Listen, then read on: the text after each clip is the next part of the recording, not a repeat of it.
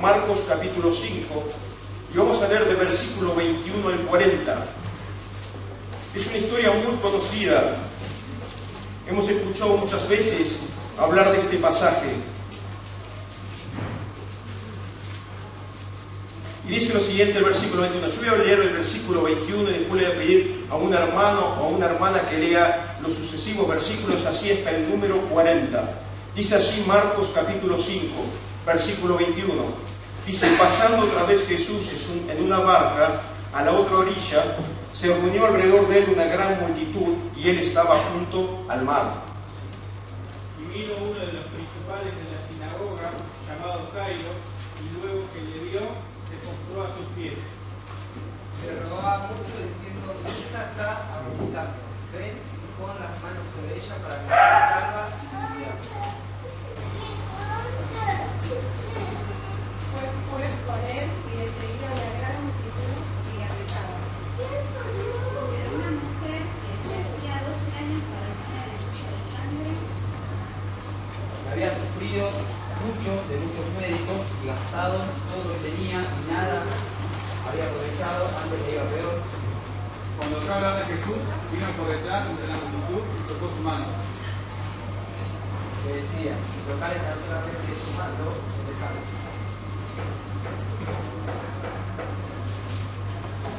Y enseguida la fuente de su sangre se secó y se en el cuerpo que estaba sano de aquella zona. Luego Jesús, como siempre en su mismo poder que había salido de él, volviéndose a la multitud, dijo, ¿quién ha matado a mi vestidos? Sus discípulos le dijeron, ¿ves la multitud que aprieta? Y dice, ¿quién me ha tocado? Pero miraba alrededor para ver quién había Entonces la mujer, temiendo y temblando, sabiendo lo que ella había sido hecho, vino y se postó delante de él y le dijo toda la verdad.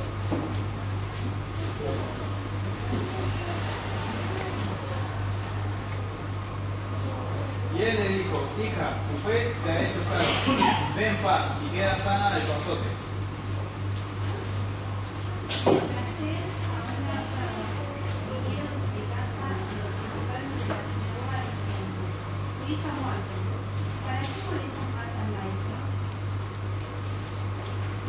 Jesús, luego que oyó lo que se decía, dijo al principal de la sinagoga, no temas, cree solamente.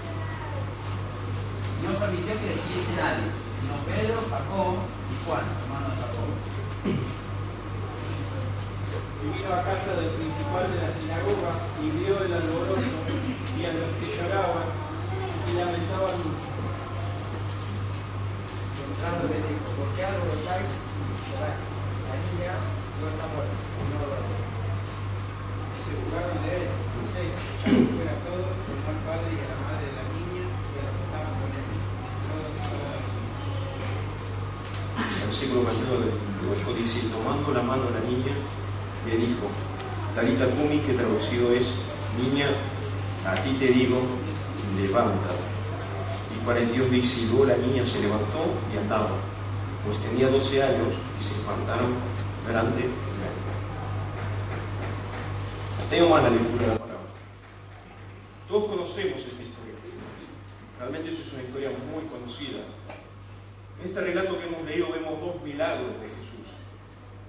El primer milagro vemos a la mujer que padecía de flujo de sangre, curada por la mano milagrosa de Cristo, el poder milagroso de Cristo.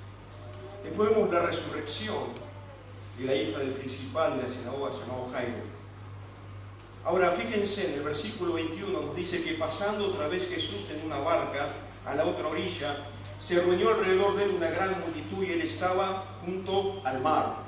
¿Saben? Me gusta estudiar muchísimo los milagros de Jesús porque es en torno al mar de Galilea que ocurren muchos sucesos en los cuales Jesucristo mostró sus credenciales mesiánicas. Ahora nos dice en los versículos anteriores a estos que hemos visto que Jesucristo venía de libertar a un endemoniado de Gadara. Ahora nos dice que pasando a la otra orilla del lago, dice que una gran multitud se le acercó. ¿Saben? Del lado este del mar de Galilea estaba lo que se llama la orilla gentil, de donde estaba el endemoniado de Gadara.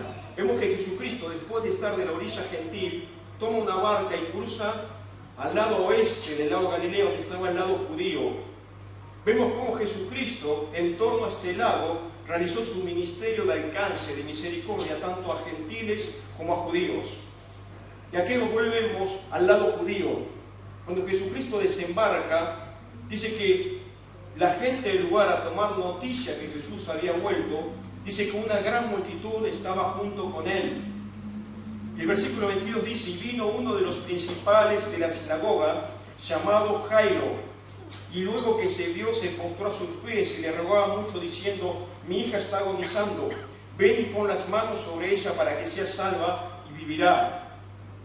Dice la palabra que mientras Jesús estaba entre la multitud apareció una persona importante, relevante. Acá nos dice que era un principal de la sinagoga llamado Jairo. ¿Saben? Un principal de la sinagoga era una persona que tenía una influencia en la sociedad judía muy importante. Era una persona noble, muy bien vista.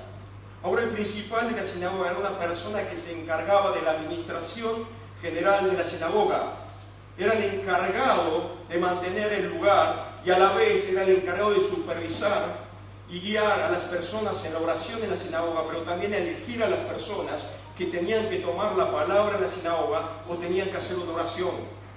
Ahora el líder de una sinagoga en una localidad era una persona que estaba tomada en muy alta estima en lo social y cultural. Ahora nos dice que este líder importante de la sinagoga llamado Jairo cuando toma noticia que Jesucristo descendió y vino allí, dice que se acercó inmediatamente y le dice, mi hija está agonizando, ven y pon las manos sobre ella para que sea salva y vivirá. Vemos que este hombre, a pesar de ser un líder respetuoso, respetado, querido en la comunidad, vemos que estaba atravesando una situación muy difícil. Tenía una pequeña hija que estaba agonizando, se estaba muriendo. Vemos que la ciencia médica en su tiempo no podía solucionar la enfermedad que su hija estaba padeciendo. Y fue esa desesperación que lo llevó a ir a Jesús.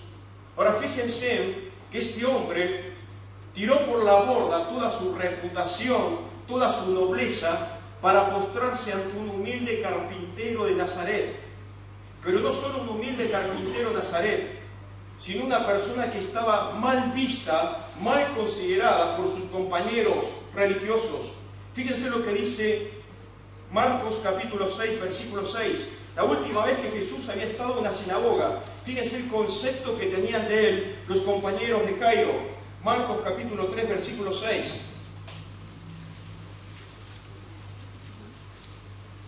Miren lo que dice. Dice, y salidos los fariseos, tomaron consejo con los herodianos contra él, contra Jesús, dice, para destruirle. Fíjense lo que dice el mismo capítulo, versículo 22. Marcos 3, versículo 22. Dice, pero los escribas que habían venido de Jerusalén decían que tenía Belcebú, y que por el príncipe de los demonios se echaba fuera a los demonios. ¿Escucharon? Los compañeros religiosos de Jairo de la sinagoga, la última vez que Jesús había estado, habían conspirado para destruirle y matarle. No solo eso, habían dicho que Jesús era una persona endemoniada, que los milagros que realizaba era por el poder de Satanás en él. Posiblemente Jairo estaba presente junto a esos compañeros que hablaban así de Jesús. Pero sin embargo, vemos que un tiempo después, cuando ese Jesús acusado por sus compañeros, vemos que Jairo, a pesar de todo eso, no tiene problema de acercarse y postrarse ante él. Un líder religioso respetado, querido, amado, de una alta nobleza en su sociedad, va y se postra ante aquel que era un endemoniado y una persona que merecía ser destruida. Y esto lo vemos porque Jairo había llegado a un momento de su vida donde ya no tenía salida. Cuando agotamos todos nuestros recursos, nuestros esfuerzos, nuestros bienes materiales, económicos, para ayudar a alguien y vemos que no podemos lograr, hacemos cualquier cosa en nuestra desesperación. Jairo lo hizo. Jairo dejó de lado, despreció su reputación, su título para postrarse ante aquel el cual sus compañeros odiaban. Ahora, esto parece ser algo bueno, porque vemos en Jairo una humillación. Vemos que se humilla ante el Rey de Reyes y Señor de Señores. Y es lo que debemos hacer nosotros también como cristianos. Nosotros tenemos que atravesar muchas veces como Jairo momentos difíciles, dificultades de las cuales se nos escapan de la mano. Y como Jairo debemos humillarnos ante Dios, postrarnos ante Él y pedirles que nos ayude, presentarle nuestra situación para que Él oiga y pueda obrar. Por consiguiente, lo que hace Jairo aparentemente está bien, porque debemos hacerlo cada uno de nosotros. Pero fíjense, versículo 22 y 23, vamos a leer de vuelta. Dice, y vino uno de los principales de la sinagoga llamado Jairo, y luego que le vio, dice, se postró a sus pies. ¿Saben esa palabra se postró? Está en tiempo imperfecto. Significa que se postraba, se ponía de pie, se volvía a postrar, se ponía de pie, se volvía a postrar y hacía constante reverencia. Vemos una actitud continua de humillación de Jairo. Y dice que mientras se postraba a sus pies, le rogaba mucho diciendo, mi hija está agonizando, se está muriendo. Dice, ven y pon las manos sobre ella para que sea salva y vivirá. Tenía fe Jairo. Jairo se humilla porque reconoce el poder mesiánico de Cristo. Y le dice, Señor, mi hija está agonizando. Ven, le dice Jairo, pon las manos sobre ella y vivirá. ¿Vemos fe o no vemos fe de parte de Jairo, hermanos? ¿Sí? ¿Vemos humillación o no vemos humillación al mostrarse? Pero ¿te diste cuenta cuál es el error que comete Jairo? ¿Vieron el error que comete Jairo? ¿Lo notaron? Aún estando postrado, humillado ante Jesús, comete un error fatal. Jairo le dice a Jesús, ven y pon las manos sobre mi hija. Dice, y vivirá. ¿Qué dijimos al comienzo? ¿Qué era Jairo? ¿Qué era Jairo? ¿Un qué? Un líder. Ahora, según el punto de vista del mundo, ¿qué es un líder? ¿Qué es un líder? Según el punto de vista del mundo, ¿qué es un líder? ¿Cómo? Alguien que dirige. Alguien que dirige, alguien que manda, alguien que da instrucciones para que otros obedezcan. Los líderes dirigen, mandan, ordenan, no suplican. Ellos son los que toman las determinaciones. ¿Saben? Jairo está mandando a Jesús. Está ordenando lo que tiene que hacer. Jairo no había perdido la manía de dirigir. Si bien está postrado ante Jesús humillado, creyendo que Él le puede curar a su hija, le dice cómo tiene que hacerlo. Jairo le trae un mapa detallado de cómo Jesús tiene que actuar. Saben, Jairo no buscaba la dirección del Señor, buscaba su aprobación. Tenía en él ese pequeño germen de querer dirigir. Y muchas veces nosotros, inconscientemente como creyentes, estamos postrados ante Dios, llorando por nuestra situación, pidiéndonos que nos ayude. Pero le decimos, Señor, tenés que hacerlo así, ¿eh? Señor, yo creo en ti. Yo sé que tú puedes sanar a mi hija, pero tienes que hacerlo de esta forma. Como Jairo, tenés que venir, poner las manos encima de ella, de esta manera, Señor, y ella vivirá. Y nosotros actuamos así. Le pedimos un trabajo a Dios y decimos, Señor, quiero este trabajo que sea así, de esta forma. Tienes que actuar así, Señor. ¿eh? Mire, Señor, tengo un problema de enfermedad. No, pero mira, tienes que hacer esto, vamos a hacer el tratamiento porque creo que lo es conveniente. Le traemos un planeamiento anticipado al Señor de cómo tienen que ser las cosas. Y nos equivocamos como Jairo. Cometemos un error fatal. Como iglesia cristiana también. Tenemos el deseo de hacer cosas para Dios. Queremos alcanzar a los perdidos. Gastamos dinero, recursos humanos, hacemos actividades. Planeamos, le entregamos a Dios nuestro programa. Y después pedimos que Dios lo bendiga. Nos humillamos ante Él. Pero ¿dónde están los resultados? Porque Dios no bendice cuando tú quieres dirigirle. Jairo cometió el error de querer dirigir a Jesús y cómo Él tiene que hacer las cosas. Pero saben, Jesucristo le iba a enseñar a Jairo que siempre, escuchen esto, siempre la iniciativa es divina. El método es divino y la conclusión es divina. Muchas veces nos equivocamos en esto. Creemos que la iniciativa es divina, pero fallamos en el método, porque quiero mi método. ¿Sabes a qué conclusión llegas? A una conclusión equivocada. Y en esta mañana hice esta gran introducción para ver cómo el Señor, viendo el error de Jairo, viendo que a pesar que Jairo estaba humillando ante él, creyendo en él, cómo Jairo tenía ese germen pequeño de liderazgo, cómo Jairo aún quería tener el control de las cosas. Y saben, Dios iba a utilizar un instrumento para cambiar la mentalidad equivocada de Jairo, para mostrarle que las reglas del reino no son las reglas de este mundo.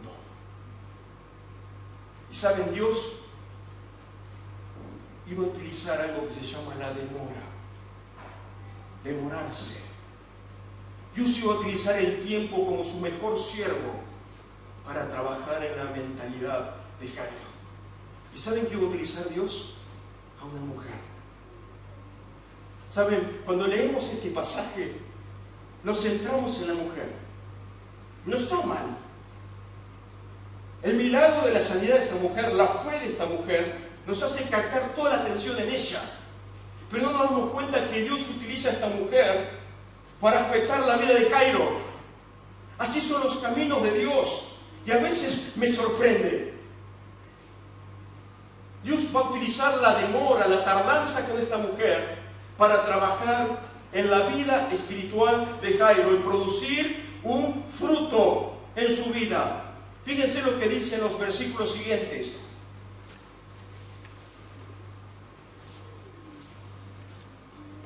Versículo 24. Dice, fue pues con él y le seguía una gran multitud y le apretaba. Fíjense, Jesucristo no contradice a Jairo. Jesucristo capta el error de Jairo, pero no lo contradice. Dice que decidió acompañarle. Dice que iba con Jairo Jesús. Y había una multitud, dice que le apretaba. Pero una mujer dice que desde hace 12 años padecía flujo de sangre y había sufrido mucho de muchos médicos y gastado todo lo que tenía y nada había aprovechado, dice, antes le iba peor. Versículo 27. Cuando oyó hablar de Jesús, vino por detrás entre la multitud y tocó su manto, porque decía, si tocare tan solamente su manto seré salva. Versículo 29. Y enseguida la fuente de su sangre se secó y sintió en el cuerpo que estaba sana de aquel azote. Luego Jesús, conociendo en sí mismo el poder que había salido de él, volviéndose a la multitud, dijo, ¿quién ha tocado mis vestidos? Sus discípulos le dijeron, ¿ves que la multitud aprieta y dices, ¿quién me ha tocado? Pero él miraba alrededor para ver quién había hecho esto. Entonces la mujer, temiendo y temblando, sabiendo lo que en ella había sido hecho, vino y se postró delante de él y le dijo toda la verdad. Y él le dijo, hija, tu fe te ha hecho salva, ven paz y queda sana de tu azote. Versículo 35. Mientras él aún hablaba, vinieron de casa del principal de la sinagoga diciendo, tu hija ha muerto. ¿para qué molestas más al maestro?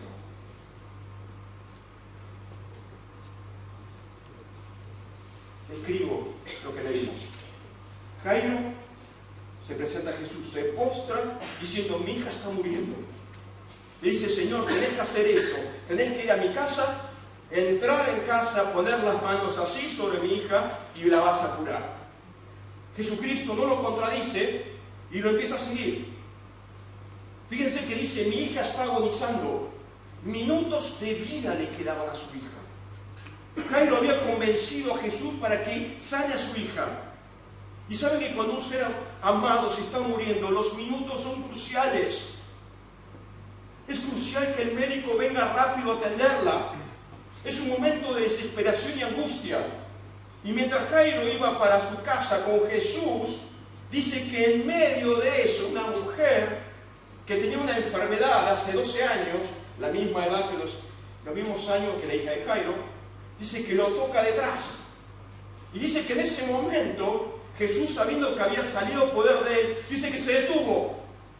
Y el versículo 30 me llama la atención porque dice, volviéndose a la multitud. ¿Saben? Esa palabra significa que él se detuvo, pero no solo se detuvo, significa que se volvió para mirar hacia otra dirección. ¿Saben? Él tenía que ir a curar a la hija de Jairo. Su hija se estaba muriendo. Y de pronto Jesús se detiene. Se frena y se vuelve. Y no solo se vuelve, empieza a hablar y a preguntar quién me ha tocado. Y vemos que la mujer se atreve a decir que había sido ella. El Señor la sana y dice que mientras la sana, dice que siguió conversando con ella. Dice, mientras aún, dice, hablaba con ella. Ahora fíjense, nos centramos en la mujer, pero nos olvidamos que alrededor de Jesús, ¿quién está? Está Jairo. Está Jairo al lado de Jesús. Ahora, ¿qué hubieses dicho tú si estás en lugar de Jairo? De aquel maestro del cual todos te hablan, que sana a las personas, que ama a las personas, que se preocupa por los necesitados y de repente se detiene. Y no solo se detiene, se queda a charlar. ¿Qué harías tú? ¿Se imaginan a Jairo en ese momento? ¿Se imaginan al pisito de Jairo? Desesperado, mi hija se está muriendo, Señor.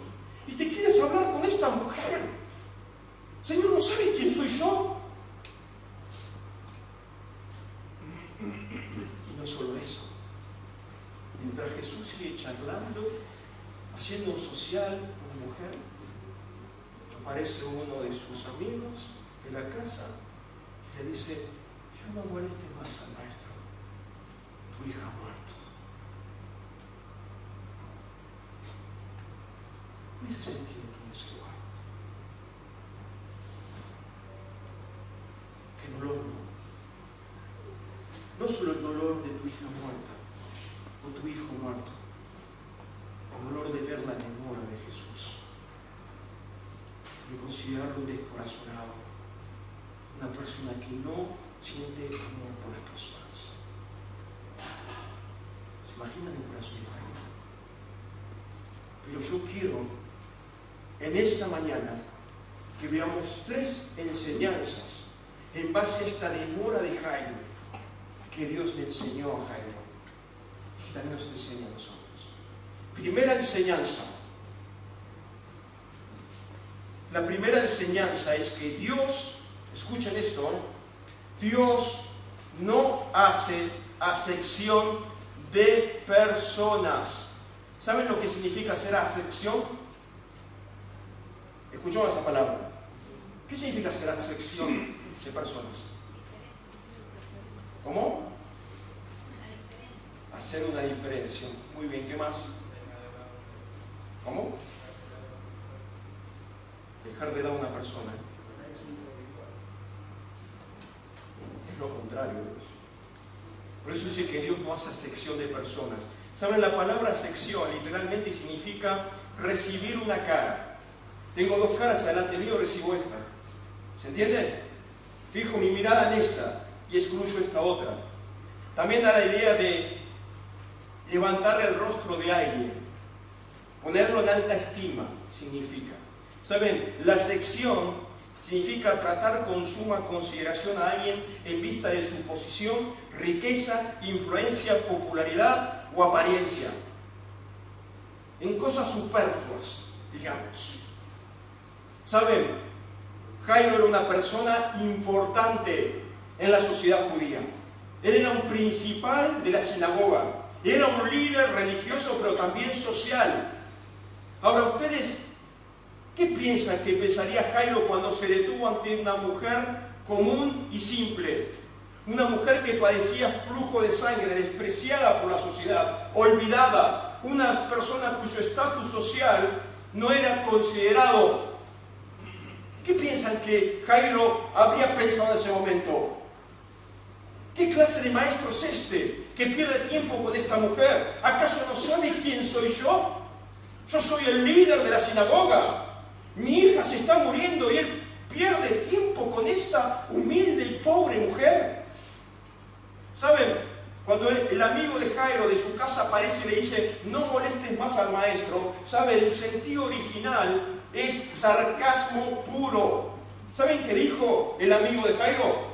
No lo fatigues más a ese maestro. Ese es el tono. ¿Ves cómo perdió tiempo con esa mujer, Jairo? ¿No sabes quién sos tú, Jairo? No lo molestes más este. Esa es la idea. Pero acá Jesucristo le va a mostrar a Jairo que Él no hace acepción de personas. Para Dios todas las personas son importantes.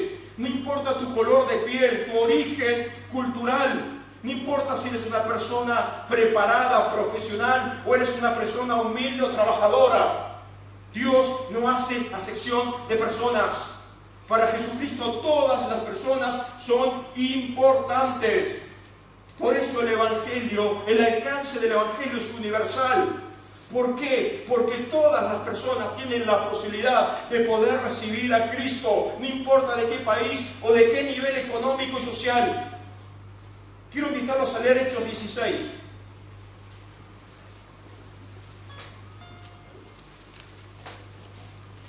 Saben, en Hechos 16 tenemos una clara evidencia de lo que yo llamo el carácter universal del Evangelio. Fíjense, en este capítulo 16 vamos a encontrar tres tipos y clases de personas. Hechos 16, versículo 14. Dice, mientras Pablo y Silas estaban predicando el Evangelio Dice entonces una mujer llamada Lidia, vendedora de púrpura de la ciudad de Tiatira, que adoraba a Dios, estaba oyendo. Y el Señor abrió el corazón de ella para que estuviese, dice, atenta a lo que Pablo decía. Versículo 16, después de este suceso, aconteció que mientras íbamos a la oración, dice, nos salió al encuentro una muchacha que tenía espíritu de adivinación la cual daba grande ganancia a sus amos adivinando. Versículo 27, ¿se acuerdan del episodio cuando estaban en la cárcel Pablo y Silas? Un terremoto que los libera.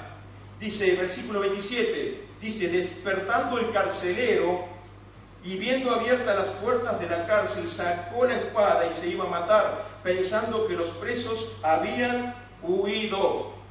Hasta ahí nomás. ¿Vieron? Tres personas. Tres personas distintas. Nos habla de Lidia. Una vendedora dice de púrpura. ¿Saben? Lidia era una persona de origen asiático. Después nos dice que había una mujer esclava que daba ganancia a sus amos adivinando. ¿Saben? Esta esclava era griega. Y después nos dice el carcelero, Saben, el carcelero era ciudadano romano. Saben, en estas tres personas vemos distintas nacionalidades. Vemos que el Señor alcanza a todas personas de todo lugar, no importa qué país. Pero no solo vemos que son personas de distinta nacionalidad, también vamos a ver que son personas de distinta clase social. ¿Saben? Dice que Lidia era una vendedora de púrpura. ¿Saben? La púrpura era una de las mercancías más costosas de esa época. No cualquiera podía vender púrpura. Por consiguiente, Lidia es el equivalente a un príncipe mercader que pertenecía a una clase social alta. Después vemos a la griega. ¿Saben? La griega era una esclava. ¿Saben? Para la ley esclava, de las esclavas, la esclava no era una persona, era una herramienta viva. Y después vemos al carcelero, un ciudadano romano. ¿Saben? Él pertenecía a la fuerte clase media de Roma que se ocupaba de los asuntos civiles de la sociedad. Por consiguiente, ¿qué vemos? Vemos lo alto, vemos lo bajo y vemos lo medio de la sociedad. Y acá nos está hablando del carácter universal del Evangelio. Dios no hace acepción de personas creyentes. Dios ama a cada uno de nosotros como si no hubiese a otro a quien amar. Dios amó de tal manera al mundo que ha dado su Hijo para que todo aquel que en él no se pierda, más tenga vida eterna. ¿Saben? La motivación equivocada de Jairo es que porque él era de alta posición social y religiosa, que Dios debía obrar el favor solamente en él. Los pobres no merecían el favor de Dios. Dios, a través de esta demora y a darle prioridad a la mujer, me dice, Jairo, tú eres un líder, tus motivaciones son erróneas, yo he venido para buscar a todos. Ahora, quiero abrir paréntesis. ¿Cómo somos nosotros como creyentes? ¿Cómo somos con los de afuera? ¿No caemos en el error de creernos que somos una clase selecta espiritual elegida por Dios y miramos con desprecio a las personas de afuera? ¿No creemos que somos el centro de las bendiciones de Dios? ¿Qué sientes cuando ves a un pobre? ¿Qué sientes cuando ves a estos muchachos en la esquina drogándose, hablando blasfemias? ¿Cómo los miras? ¿Con desprecio? ¿O realmente entiendes que Dios no hace sección de personas? Que ellos merecen el favor de Dios como tú. Cierro paréntesis. Primera enseñanza, Dios no hace acepción de personas. Pero saben, la segunda enseñanza de la demora de Cristo es que Él es soberano en sus planes y propósitos. ¿Por qué digo esto? Porque Jairo, Jairo no pudo entender, no pudo comprender cómo Jesús perdía tiempo con esta común mujer, vil mujer para Jairo, mientras su hija se estaba muriendo. ¿Saben? Jairo diría para adentro, yo soy un hombre que ama la palabra de Dios, soy un líder religioso, soy un líder que adora a Jehová, que brindo servicio a la comunidad espiritual, y este maestro, que dicen que es maestro, pierde tiempo con esta mujer. ¿Acaso tú no me amas más a mí porque estoy más cerca de lo que Dios desea? ¿Saben? Eso muchas veces nos pasa a nosotros como cristianos. Otra vez nosotros como cristianos nos cuesta entender el propósito soberano de Dios que tiene en forma individual con cada uno de nosotros. ¿Saben? Muchas veces como cristianos caemos en la envidia. Pero ¿saben? La envidia con otro creyente. Dentro de la familia. ¿Cuánto tiempo vienes orando por algo? Para que Dios te lo dé. Para que Dios te brinde lo que estás pidiendo. Y pasa el tiempo, se demora Dios y no te lo da. Y miras a aquel creyente que dice, pero eso es menos que yo. Ese creyente, mira lo que es. Mira los errores espirituales que tiene, porque yo soy una persona que ama la palabra, estudio, oro, sirvo mi ministerio y no me das nada, Señor. Te demoras. ¿Y a qué le respondes? ¿Y a qué le das todo? Mira el auto que le diste a aquel hermano, mira yo el auto que tengo, lo tengo que andar con alambre, Señor. Y te sirvo. Veces caemos en ese error. Cuestionamos, cuestionamos los propósitos individuales de Dios con cada persona. despreciamos la soberanía de Dios. ¿Saben? Hay un hecho que está en el Evangelio de Juan, que alguien puede leer Juan 21, versículo 20 al 23.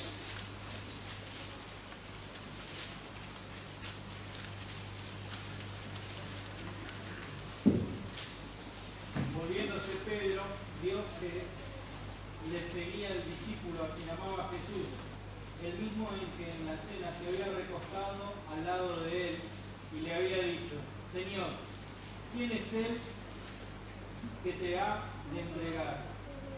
Cuando Pedro le vio, dijo a Jesús, Señor, ¿y qué de este? Jesús le dijo, si quiero que él se quede hasta que yo venga, ¿qué a ti? Sígueme tú. Versículo 23. Este dicho se extendió ento- en- entonces entre los hermanos que aquel discípulo no moriría, pero Jesús no le dijo que no moriría, sino quiero que él quede hasta que yo venga, que a ti. Hermano, ¿no? ¿Se acuerdan de ese episodio?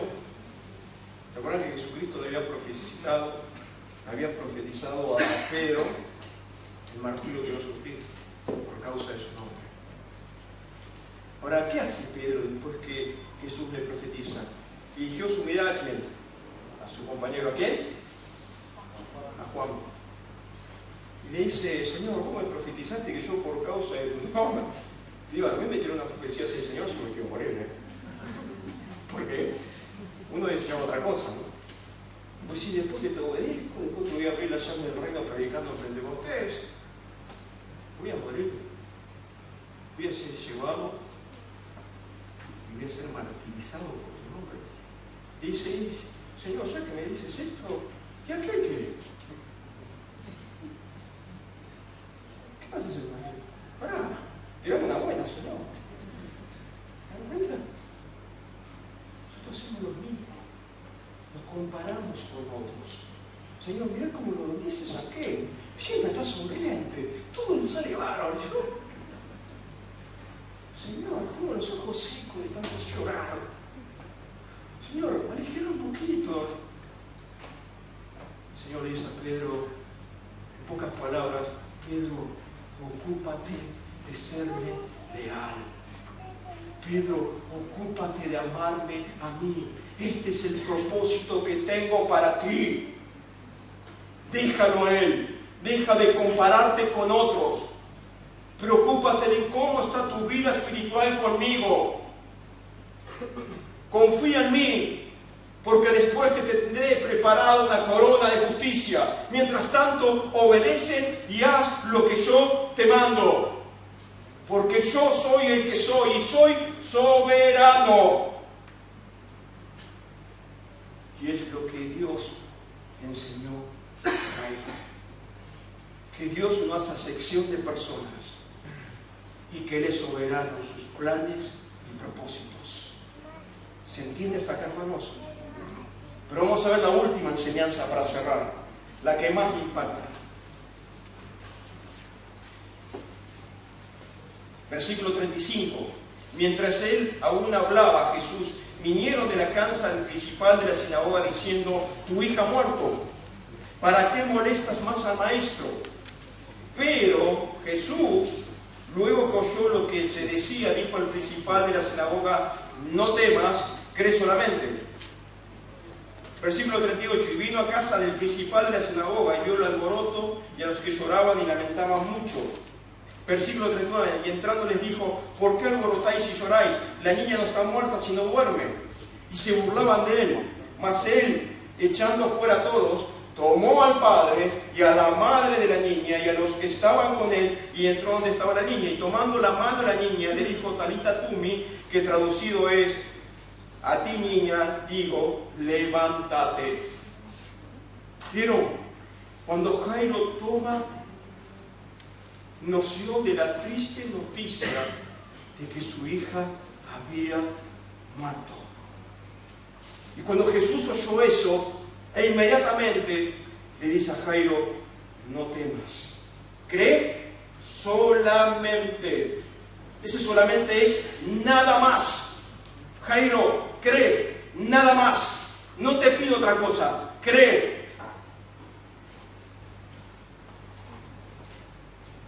Creo que cada uno de los que estamos aquí presentes nos tocó alguna vez experimentar estar en un hospital cuando un ser querido está agonizando. Cuando estás tú con otros familiares, es un momento angustiante, excitante porque estás excitado, tu corazón late, late, late, estás tensionado, estás nervioso. Y observas cómo los médicos luchan tratando de reavivar a tu ser querido, de ayudarlo. Y estás en la sala de espera de ese momento de tensión, angustia, luchando, ordenándole a los médicos lo que tienen que hacer, suplicándoles. Todos hemos estado en un momento así. Y cuando se abre la puerta del quirófano, el médico sale y dice, se ha ido. Ese momento es como que el mundo se detiene. Como que el mundo se te viene encima. Ya dejas de luchar. Ya dejas de pelear. Ya dejas de estar nervioso. Te rindes. Te derrotas. Es lo que le pasó a Jairo. Cuando Jesús vio que Jairo estaba derrotado, destruido, que ya no lucha más, es cuando Jesús pudo orar. Porque la palabra de Dios nos dice que Él tomó al Padre. ¿Escucharon esa parte? Él tomó al Padre y entró al lugar donde su hija estaba muerta. Ya Jairo no manda más. Ya Jairo no dirige. Ya Jairo no ordena lo que Jesús tiene que hacer. Es Jairo poniendo su mano en la mano de Jesús y diciéndole Jesús, dirígeme tú ahora. Y es lo que hace cuando el Señor demora. No lo entendemos, no lo comprendemos. Pero cuando el Señor ve un pequeño germen de liderazgo erróneo en tu vida, Él va a demorar en su respuesta porque quiere purificarte. Quiere que te humilles, quiere que derrotes en esa área, quiere que te frustres, quiere que dejes de luchar para que creas solamente. Jesús te dice, no me digas lo que tengo que hacer, no me digas cómo debo hacerlo, solamente cree en mí y yo haré lo que sea conveniente. Jesús Jairo, al comienzo de la historia, se acercó buscando una curación, pero al final de la historia encontró la resurrección. ¿Saben? En las reglas del reino, los que mueren viven, los que se hacen pequeños crecen. Y hoy Dios está utilizando el tiempo la demora como instrumento para purificarte y formar en ti el carácter de Cristo. Y deseos que puedas entender que el Señor hoy te pide que creas en Él. Quiero culminar con un salmo.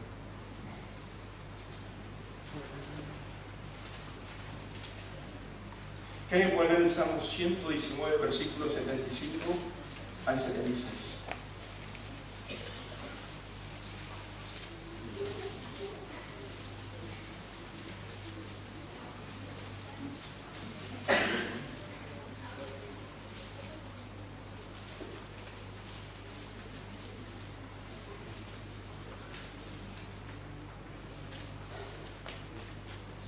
119, 75 al 76.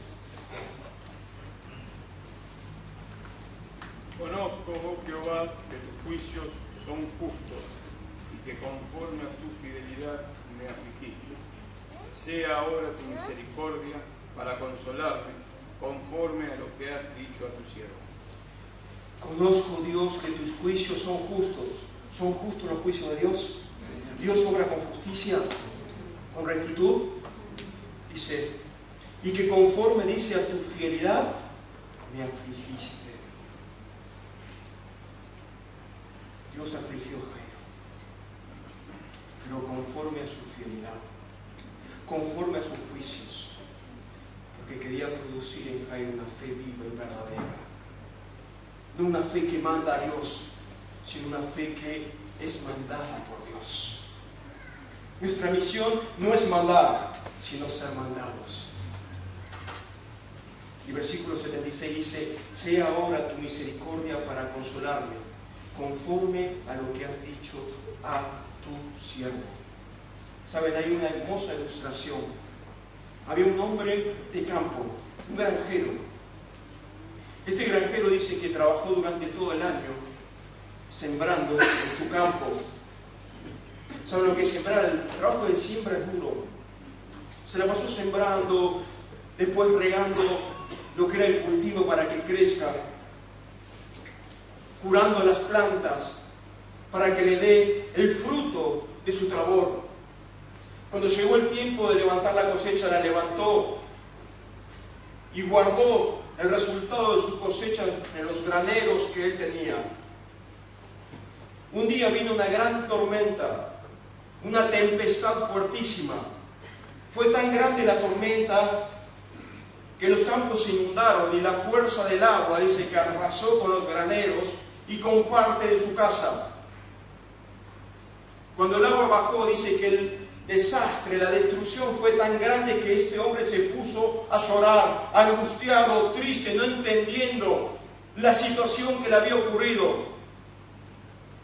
Y dice que mientras el agua bajó y se secaba todo, dice que en el horizonte, en el día pudo divisar a través de los rayos solares que reflectaban sobre este objeto, que este objeto brillaba.